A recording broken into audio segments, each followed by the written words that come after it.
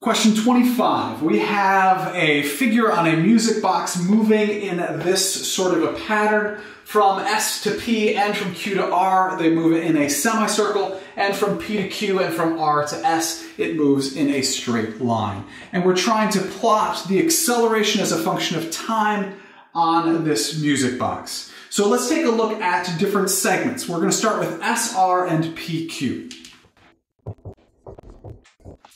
Now, from R to S and from P to Q, the figure is moving in a straight line, and we know it's moving at a constant speed. Therefore, the acceleration is going to be equal to zero on those two segments.